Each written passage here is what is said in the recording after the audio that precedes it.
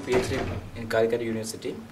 I'm really proud of being part of this workshop. Regarding cla- uh, classes, the resource person was very good. Uh, so many resource persons are there. They were very good and highly motivating us. And uh, we would uh, we would thank to we, we would like to thank ICSSR and uh, also with also age.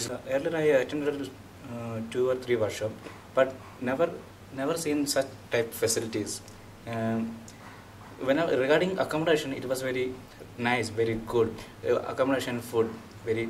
Uh, it was very nice. Thanks for giving such an such a fantastic opportunity.